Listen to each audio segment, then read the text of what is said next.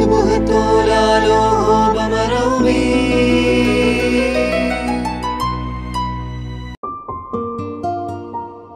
മിശിഹായുടെ സ്നേഹം എല്ലാവരിലും വസിക്കട്ടെ. വചനകിരണത്തിലേക്ക് ഏവർക്കും സ്വാഗതം. ഓരോ മനുഷ്യരുടെയും വാക്കുകൾ കൊണ്ട് അവരുടെ ആന്തരികാവസ്ഥയെ അളന്നെടുക്കുവാൻ കഴിയും. സൃഷ്ടിയിലെല്ലാം നല്ലതെന്നാണ് ദൈവം കണ്ടത്. അപ്പോൾ പിന്നെ ഓരോന്നിലും തിന്മ കാണുന്നതും പറയുന്നതും ആരുടെ സ്വഭാവമായിരിക്കാം? ഒരാൾ ദൈവത്തോട് എത്ര ചേർന്ന് നിൽക്കുന്നുവോ അത്രയേറെ അയാൾ കാണുന്നതും പറയുന്നതും നല്ലതായി മാറുന്നുണ്ട്. ഏതൻ തോട്ടത്തിലെ കാര്യം തന്നെ നമുക്ക് നോക്കാം. ഉദാഹരണമായി മനുഷ്യൻ എന്ന നിലയിൽ ആദ്യം ഉച്ചരിച്ച വാക്കുകൾ എന്താണെന്ന് നിങ്ങൾ ഓർക്കുന്നുണ്ടോ ആദം ഹവയെ കാണുമ്പോഴായിരുന്നു അത്. ഇതാ എന്റെ അസ്ഥിയുടെ അസ്ഥിയും മാംസത്തിന്റെ മാംസവും. ഒരു പുരുഷൻ സ്ത്രീയെ എന്നതിനേക്കാൾ രണ്ടു മനുഷ്യർ തമ്മിലുള്ള കൂടിക്കാഴ്ചയിലെ ആദ്യ പ്രതികരണം എന്ന മട്ടിൽ അതിനെ നമുക്ക് വായിച്ചെടുക്കാം. ഒരു മനുഷ്യനെ സംബോധന ചെയ്യുവാൻ ഇത്രയും കാവ്യഭംഗിയുള്ള വേറെ വാക്കുകളുണ്ടോ. അത് പറയുന്ന നിമിഷത്തിൽ നോക്കുക അവർ ദൈവത്തോടു കൂടെയായിരുന്നു.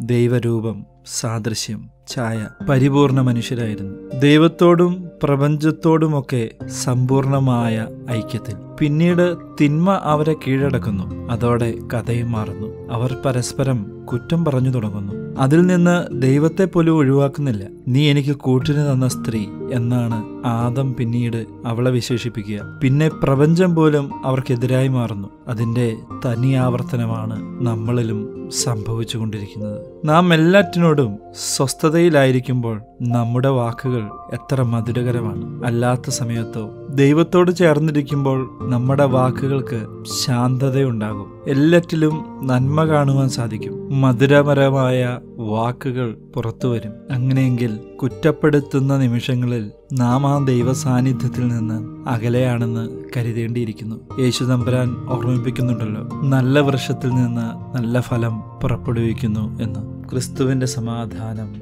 നിങ്ങളോടുകൂടെ.